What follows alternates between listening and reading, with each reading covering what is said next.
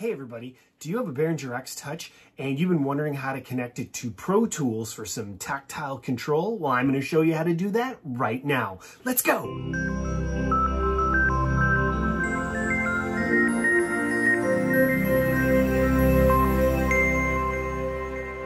Okay, the first thing we need to do is set our X Touch to the appropriate control. To change the control mode of our X Touch, make sure the device is powered off and then we're going to hold the select button on channel 1 while we power the device back on. This brings us into our control mode. In this instance, we want to set our mode to HUI, which is Human User Interface, and our interface control set to USB. And back here, we actually have a USB cable connected. That's how we're going to interface with our computer. Now that we've set our X-Touch to be in the correct control mode, we can set up the software to receive commands from the X-Touch. So here we are in Pro Tools and I've set up a new session called controller test. You can do a new session or a previous session, it doesn't matter. Um, but I've set one up here with eight channels so we can see the controller jump through some stuff once we set it up. So now what you do is you come up to your setup tab, choose peripherals, and in the peripheral window that opens, you want to click on the MIDI controllers tab. You're going to choose HUI.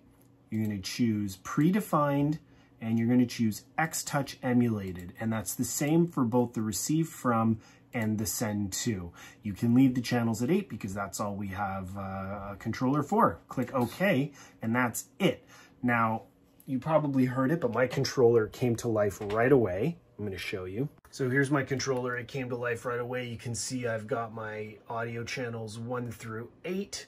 And if I do this, I'm moving number 2 up and down, you can see on my software screen here, you can see channel 2 moving up and down. Let's move all the channels. There we go. We see it working. And uh, we've got control of things like playback. So you can see the playhead is going to start to move. Uh, you might not be able to see it very easily from there, but I promise it's working and we can actually scrub forwards and back. You can see my counter moving here as I turn the scrub wheel. So that's it. We know it's working. And then you just have to jump through and figure out what controls do and do not work for Pro Tools. Okay, really quickly, I'm gonna show you the same thing on Mac instead of PC. Now, it's basically identical. Um, there's just a, a, slight naming difference, a naming convention difference in Mac. So let's have a look at that really quickly.